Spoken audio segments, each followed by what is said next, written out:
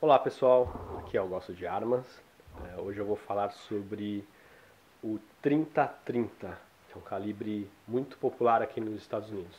Também atendido a pedidos, alguém me pediu para rever esse calibre, porque parece que a Rossi está fazendo uma, um rifle 3030 no Brasil.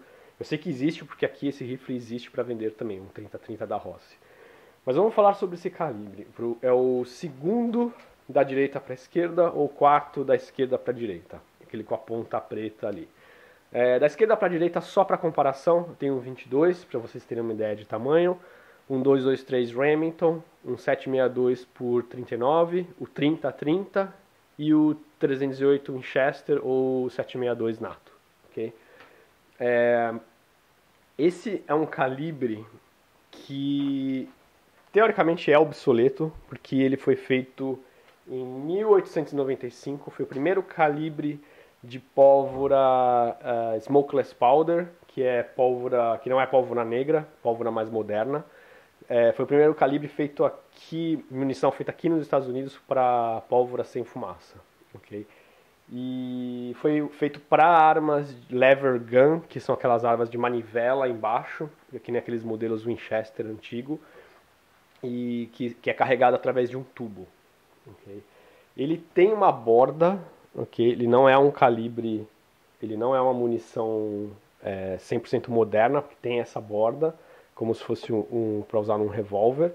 É, numa arma de, de manivela não tem tanto problema ter essa borda, até bom, mas numa arma semiautomática tem alguns problemas.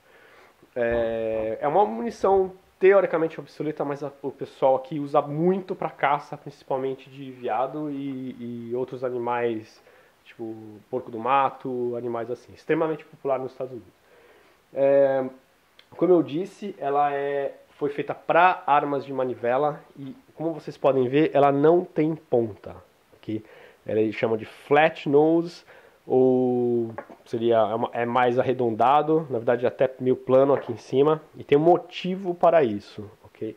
Quando você carrega lá no tubo, como, você, como a arma é, é carregamento tubular, como se fosse uma 12, é uma Winchester ou Marlin ou Rossi, que é carregada no tubo, se você deixar um, uma atrás da outra, com essa pontinha, existe o risco de um cartucho detonar o outro, porque você tem uma mola, se caixa vários cartuchos, eles ficam um atrás do outro.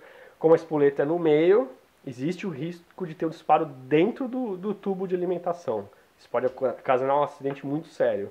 Então, a maioria dos 30-30, a grande maioria dos 30-30 é feita com essa ponta arredondada aqui ou, ou plana. Okay?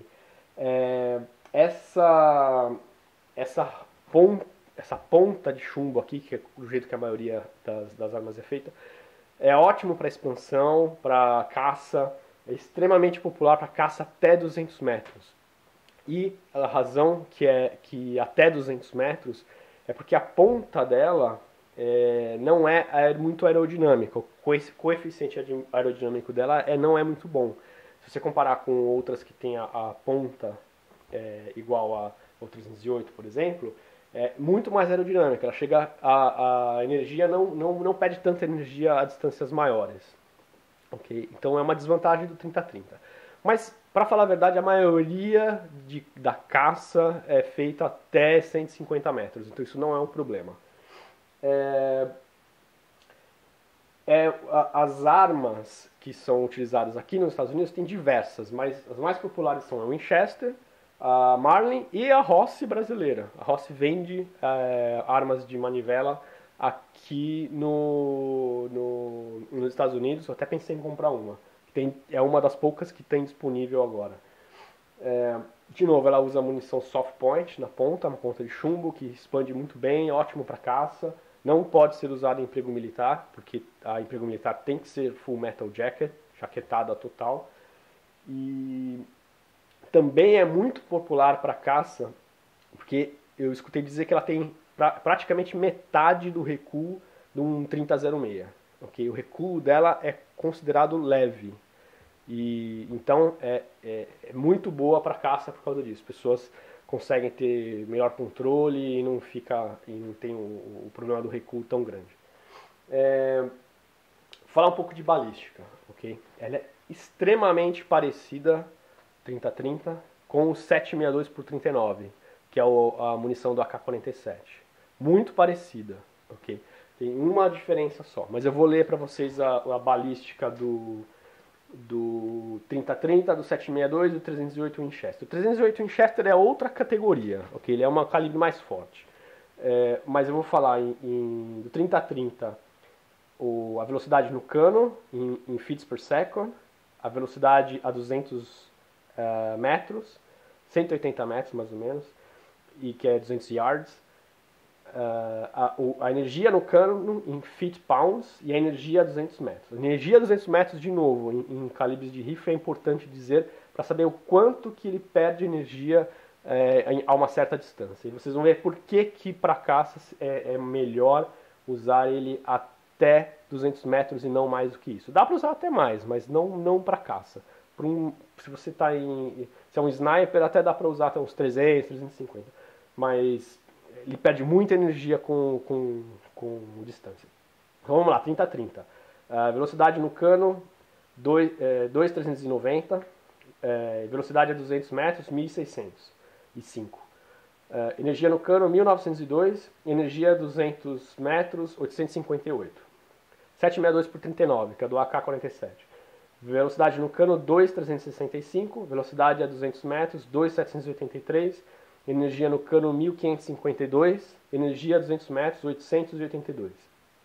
308 Winchester, de novo, é só para comparação porque ele é mais forte. É, velocidade no cano 2,685, velocidade a 200 metros 2,264, é, energia no cano 2,641, energia a 200 metros dos, é, 1878. Okay. É, para vocês é, os dados balísticos, quando eu comparo com a AK-47, eles são, é, com, com o 762 por 39, desculpa, é, velocidade no cano praticamente igual, energia a 200 metros, um pouco melhor, na verdade, o 762 por 39, de novo por causa do formato do projeto. Energia no cano é, é mais forte, uns 20% mais forte o, o o 30-30. Só que a 200 metros, o, o 762 por 39 é mais, mais forte. De novo, por causa do formato do projeto. Então, a uma distância curta para média, ele é extremamente eficiente. É, eu diria até os 200 metros, ele é extremamente eficiente. Dificilmente você vai usar um rifle para caça numa em uma situação de mais de 200 metros. É, é, teria que ser um calibre bem maior também. Um, um, no mínimo um 308 para 300 metros, daí para frente. Não, não, sei, não, quer, não quer dizer que não dá para usar, mas não é recomendável. Então, então é isso, pessoal. De novo, é, eu, eu se, se vocês no Brasil não podem ter o, o 762 por 39, o 3030 é excelente. Na minha opinião, ótimo é, calibre. É, esses três são praticamente, têm praticamente o mesmo diâmetro, são todos ponto .30 e e eu acho uma excelente opção, quem quer comprar uma Rossi no, no Brasil 3030, excelente opção para caça, para defesa também.